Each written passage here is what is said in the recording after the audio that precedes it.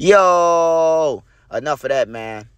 Hey, on the Lil Jay situation, man, Lil Jay was on camera choking uh um uh, against Geechie, Alicia. And then when they asked Alicia what, what he get choked out for, Alicia said because Jeff McGraw, he wanted me to come over there, and I ain't come over there when he wanted to, you know. And then they got Lil Jay on the camera escorting him out the deck. Now that's him. That's him. Can't deny it. I known him all his life. But what I can tell you is that, you know, I got people in my family like that. I got cousins and uncles, you know I'm talking about, who think they my auntie. You know I'm talking about? So, you know, it is what it is with that situation, man. But that's him. I'm 99.9% sure that I'm 100% sure that's him. You hear me? I'm 100% sure that's him now.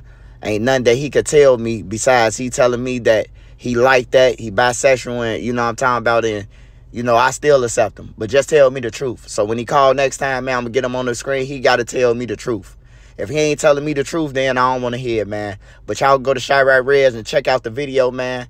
It's Lil Jay, and I'm 100% sure it's Lil Jay. Plus, the uh, paperwork, man, that's real paperwork, man. I checked the numbers, and the numbers lead back to Jeff McGraw and the incident that he had with Devon Thomas, whatever the, the whatever the dude name is. But y'all get in the comments let me know what y'all think, man. I'm going live. I gotta go crazy on this, man. You know I'm talking about? Ooh, there goes another robbery. Ooh, there goes. Hey, man, shout out to everybody who support me, all my moderators, subscribers. Shout out C-Hood and everything, man. Lil Jay, Man, you just gotta come out now, man. It's time. It's enough of that, man. Harry, you can't you can't take up for him on this one, Harry, man. I still support him, but he got to tell the truth. I'm